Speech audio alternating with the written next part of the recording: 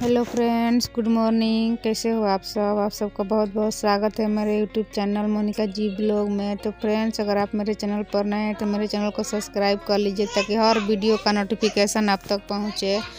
तो friends please support कीजिए और वीडियो को फुल वॉच कीजिए। तो फ्रेंड्स, अभी सुबह का टाइम है, लगभग सात बज रहा है तो मैं खाना बनाने जा रही हूँ। तो वीडियो में बने रहिए फ्रेंड्स। तो फ्रेंड्स मैंने यहाँ पर ले लिया, ये देखिए, ये है मटर हमारा और यहाँ पर मैं डाल रही हूँ इसमें। इसको ग्राइंड करने के लिए, पीसने के लिए इसमें हम पीसेंगे।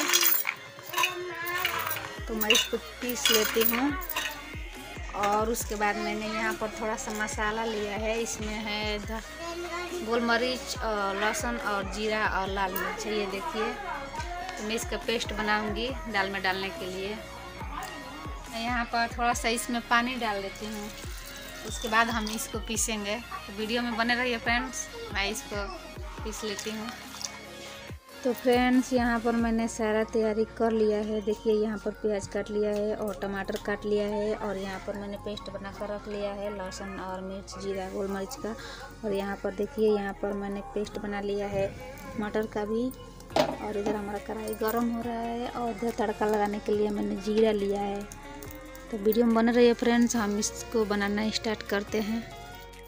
तो फ्रेंड्स मेरा कढ़ाई अब गर्म हो चुका है तो मैं इसमें पहले तेल डाल लेती हूँ और उसके बाद इसमें देखिए, यहाँ पर मैं थोड़ा सा जीरा का तड़का लगा लेती हूँ। और दो मिनट को इसको लाल होने देंगे। जीरा लाल हो चुका है तो मैं इसमें प्याज को भी डाल लेती हूँ।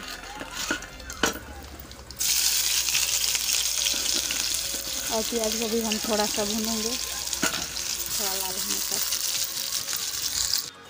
तो फ्रेंड्स ये देखिए, हमारा प्याज थोड़ा थोड़ा लाल हो चुका है और इसमें अब डाल देते हैं हम मसाला जो पेस्ट बना कर रखे हैं और इसको भूनेंगे हम थोड़ी देर दो मिनट तक अच्छा से और उसके बाद इसमें हम टमाटर ऐड करेंगे। पहले मैं भून लेती हूँ इसको। तो ये देखिए फ्रेंड्स हमारा मसाला भून चुका है अच्छा से तो मैं इसमें डाल देती हूँ टमाटर को भी। और इसको हम एक दो मिनट तक अच्छे से पकाएँगे। उसके बाद हम डालेंगे मटर का पेस्ट जो बना कर रखे हैं। तो मैं इसको भून लेती हूँ। तो यहाँ पर ये देखिए हमारा टमाटर और प्याज दोनों भून चुका है। तो मैं डाल लेती हूँ यहाँ पर मटर का पेस्ट को।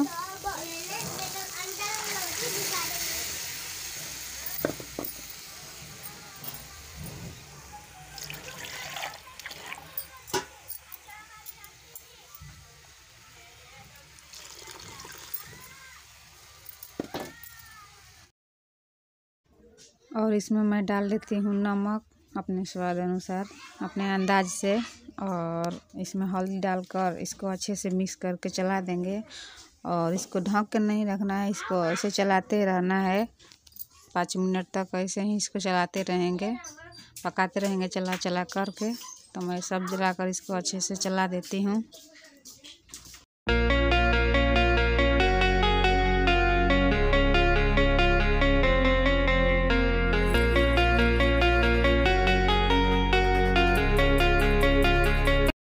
देखिए फ्रेंड्स, हमारे दाल में उबाल आ चुकी है और ये पक चुका है और इसको थोड़ी देर के लिए, दस मिनट के लिए इसी पर हल्के आँच पर छोड़ देंगे। उसके बाद ये अच्छे से पक जाएगा। तो ये देखिए, कितना बढ़िया हमारा दाल बनकर रेडी हो चुका है हरा मटर का। तो यहाँ पर मैंने चावल के लिए पानी रख लिया है कुकर में और हमारा लवड़ निकल गया था ढक्कन का तो वही मैं ठीक कर रही थी। तो मैं जा रही हूँ अब चावल डालने के लिए तो मैं डाल देती हूँ चावल और हमारा एक तरफ़ चावल बन जाएगा और एक तरफ़ दाल बन गया है। तो उसके बाद मैं आलू की भुजिया बनाने अब जा रही हूँ। पहले मैं चावल को डालकर बंद कर लेती हूँ ढक्कन को।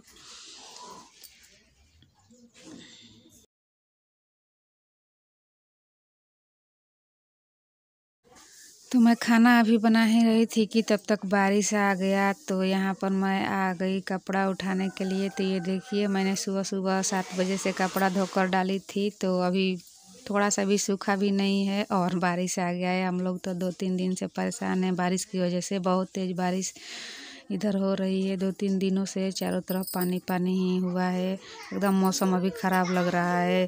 यहाँ पर बहुत ठंड भी लग रहा है। चारों तरफ़ गर्मी लग रही है और हमारे यहाँ ठंड लग रही है क्योंकि यहाँ पर बारिश हो रही है और यहाँ पर चारों तरफ़ ही पहाड़ है। कभी भी बारिश आ सकती है, कोई फिक्स नहीं होता है यहाँ का। साल में कभी भी बारिश हो जाती है।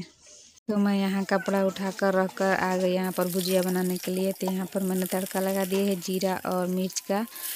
तो अब मैं डाल लेती हूँ भुजिया को और इसको ऐसे ऐसे मैं चला कर ढक दूँगी दो तीन मिनट के लिए। उसके बाद इसको देखेंगे तो नमक उमक डालेंगे।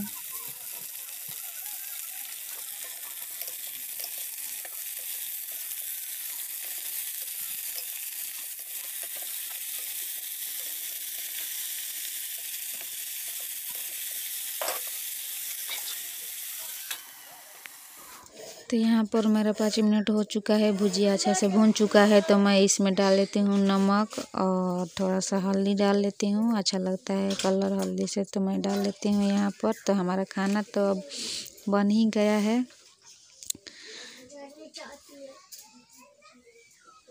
तो मैं इसको अच्छे से चला कर ढक देती हूँ और पाँच मिनट के लिए।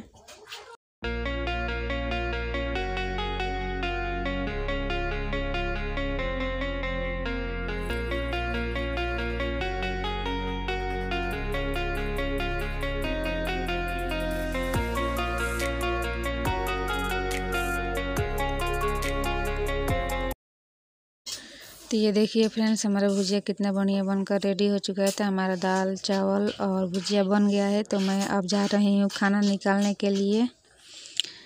तो यहाँ पर ये देखिए, मैं खाना निकाल लेती हूँ। मटर का दाल और चावल और भुजिया। तो वीडियो कैसा लगा कमेंट में करके बताइएगा और चैनल को सब्सक्राइब करना ना भूलिएगा फ्रेंड्स। फिर मिलते हैं अगले वीडियो में।